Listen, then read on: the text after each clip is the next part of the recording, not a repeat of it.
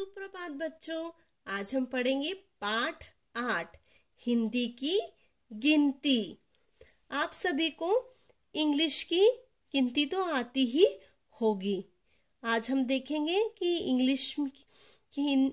गिनती के अलावा हिंदी की गिनती कैसे लिखी जाती है तो यहाँ हम देखेंगे हिंदी में एक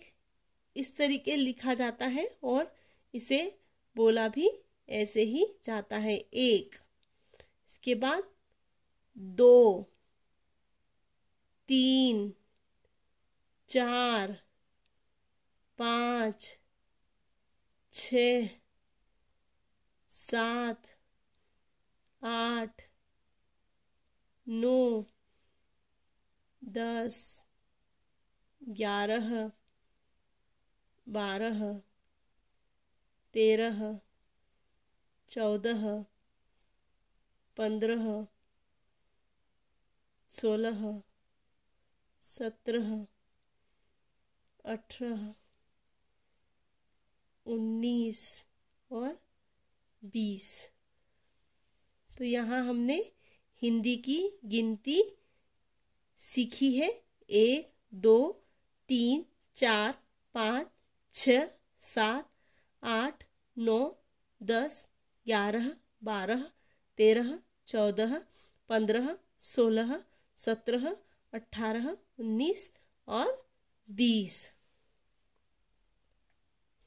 खेल खेल में हिंदी की गिनती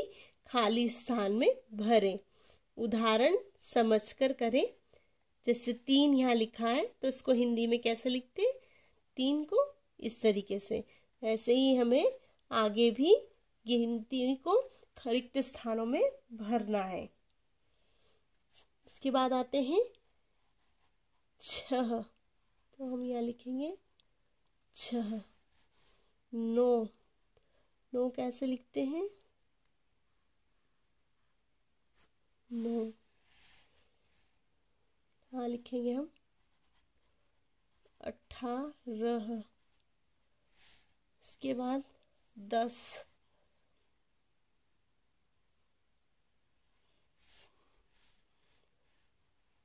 सोलह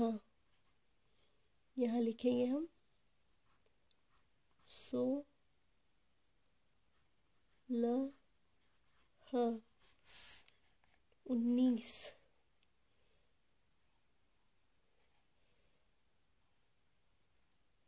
उन्नीस पाँच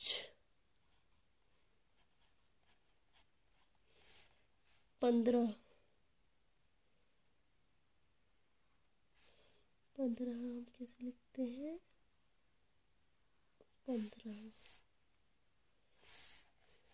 सात तेरह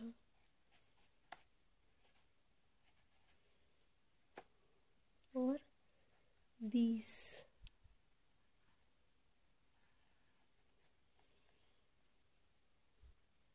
धन्यवाद